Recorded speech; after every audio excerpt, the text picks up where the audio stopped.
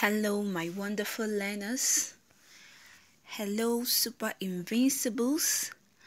I hope we are all doing great today. Good day to all of you. I hope we're all being fine. We are all doing great. How are your parents? How are your siblings? I hope you're keeping safe. Okay, this is Miss Helen once again, and today we have an interesting topic. Today, our subject is mathematics, and our topic is percentages. I know you've heard of percentage.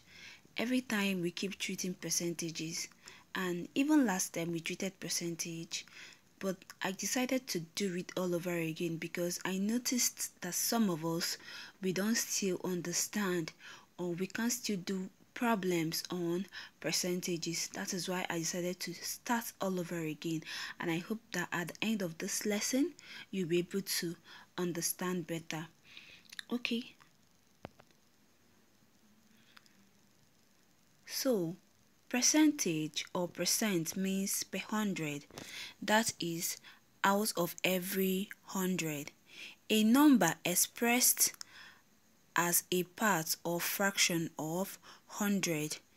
It can also be expressed as representing a rate or a ratio between two amounts with the denominator being 100. Yes, percentage or percent means per 100. You remember in your French, the, the number 100 means cent. So percentage, that is where it's gotten the word percentage or percent it means out of every hundred, a number expressed as a part or fraction of hundred. It can be a ratio 25 is to 100, 50 is to 100, or a fraction 4 over 100. But a part of the fraction is supposed to be what? 100. It, that is what I try to say that it can be represented as a rate or a ratio between two amounts with the denominator being 100. This is the sign used to express a percentage. Example, 25% means 25 over 100 or 25 is 200. 50% means 50 over 100 or 50 is 200. 4% means 4 over 100 or 4 is 200 and so on and so forth. So let's continue. There are different operations that we do under percentage like changing from decimal to percentage um, changing from fractions to percentage and so on and so forth.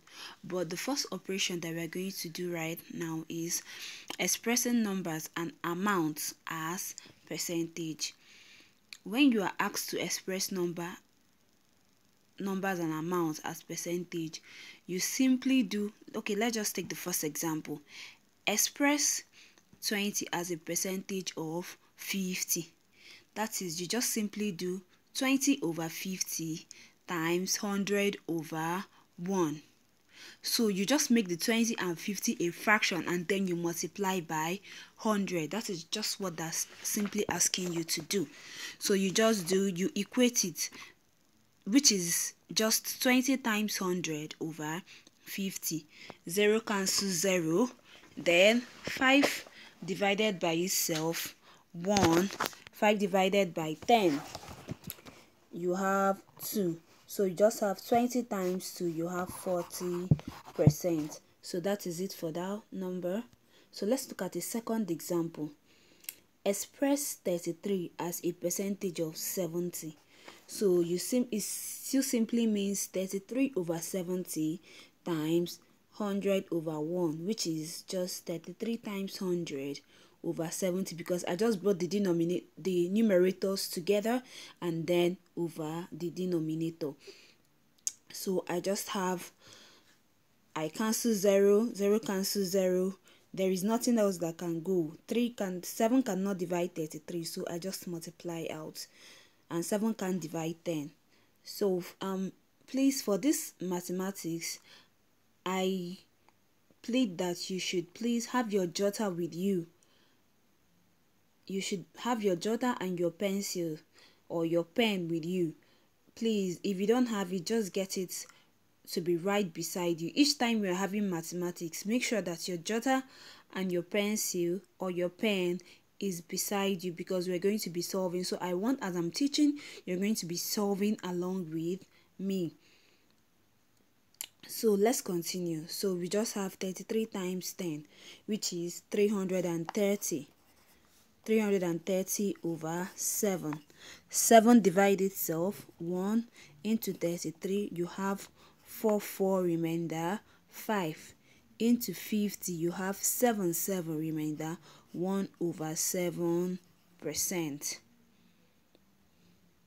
so let's look at the next one express 35 minutes as a percentage of 1 hour.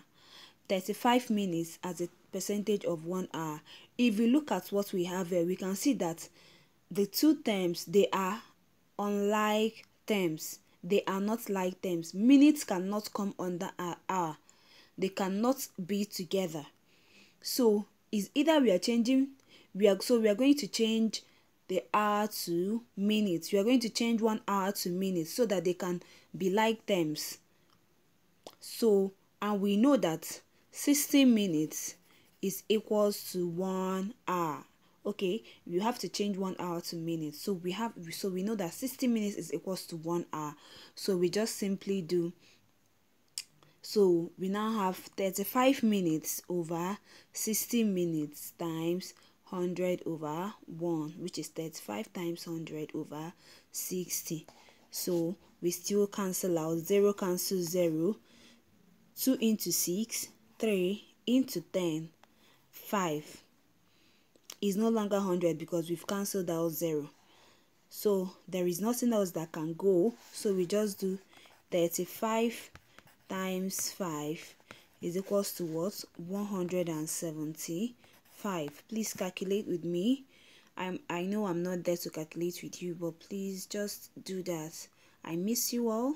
So it we now have 175 over 3 3 into itself 1 into 17 5 5 remainder.